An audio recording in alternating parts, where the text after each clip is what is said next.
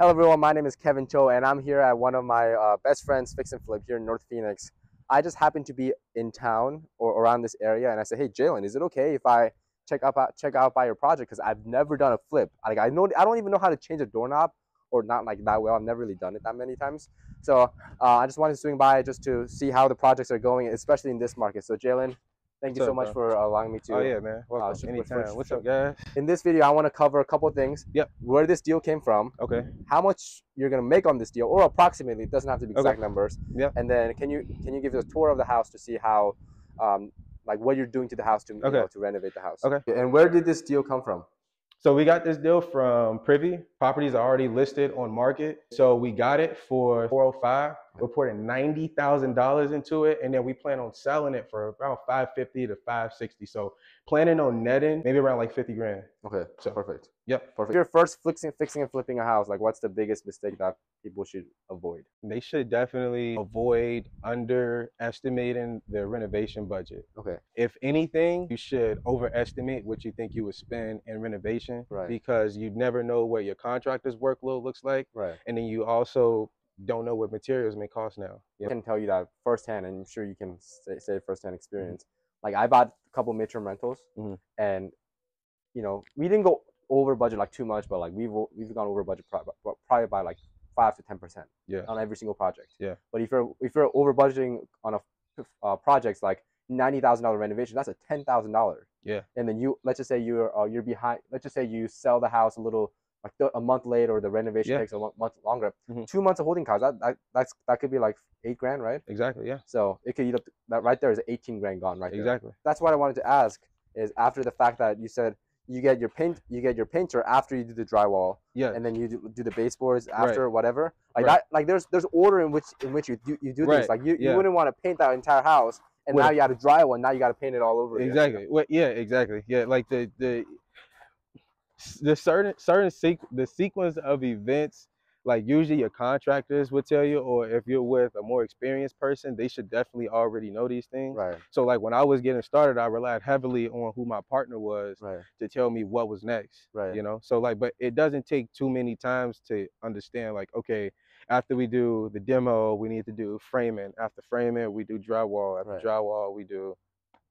I don't know. so uh, so it's basically okay after this boom boom Yeah, boom boom yeah, boom yeah. okay yeah. yeah this is awesome and this isn't this isn't such a great neighborhood Oh yeah. it's one of the best neighborhoods Yeah, bro. It's really North quiet. I don't know what mountain this thing is back in, okay but it, it's.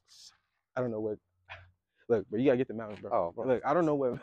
I don't know what mountain this thing is back in, but the, the view is quite scenic.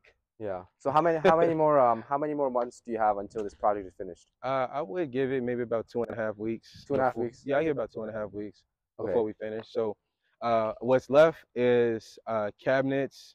Well, what's yeah, what's left is cabinets and the trim, and then fixtures, and that's pretty much it. Lights, Okay. we got to finish up on electrical. Wow. Yep. That was so you you're you're in and out of, of, this project in about like Eight months. weeks. Eight weeks. Yeah. Eight weeks, And then you got to sell it. Yep. But you already have. But then from what I from from our previous conversation before the Oh, camera yeah. turned on, um, you already have a buyer that was interested in saying, hey, can you please give me first day because I want to go go buy this house. Oh yeah. So, for everybody that doubts our Phoenix market, Oh yeah. a lot of people doubt the Phoenix market, man, but like uh, it's hot. So this is just a text that we got from the neighbor uh, of the house. Oh, the neighbor wants to the buy it. neighbor wants to buy the house. Do you know which one- which neighbor? I don't know, but she has a son, and her son came by. He talked to our contractors, Okay. and uh, he liked the house. He was like, "Hey, let us know whenever you guys are putting it up." We told him what price we wanted to sell it for, Okay. and yeah, he was still he was still wanting it. Honestly, if if if you do that, you might make another ten grand on the because Hopefully, because you don't have you don't have the buyer's agent commission that you're gonna have to pay. yeah, out. yeah. Well, Yeah. we don't pay buyer's commission anyway. Well, we we might we discount it. Oh, okay. We discount it. Okay. I take that back, bro. I'm talking about sell side. Oh yeah, yeah. Yeah, you gotta take that part Yeah, out. so you're the you're the seller, so Right, you, yeah, you pay the buyer's agent. Yeah. So, but if you can cut that middle, cut that buyer's agent Oh, yeah. out, two and a half percent on a five hundred fifty thousand dollar house, that's thirteen grand right there. Yeah. And then you don't have to pay. Uh, we have a listing. Your your partner's a listing agent on this one. Yep. Okay. Partner's So listing agent. yeah, So if you need listings, you can hit up my partner. Her name's Belinda Lee.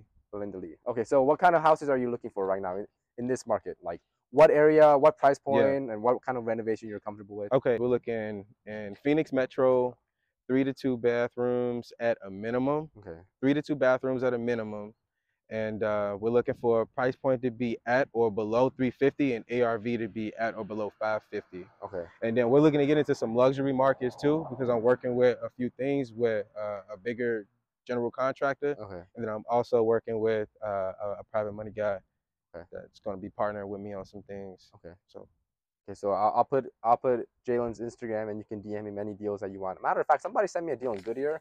I haven't even looked at it, but this is this is the power of social media. Is like you get you get people to send you deals. oh yeah, So make sure you send any creative deals or any fix and flip opportunities to Jalen, and uh, he'll he'll pay you a good assignment fee. let's go. All right, bye.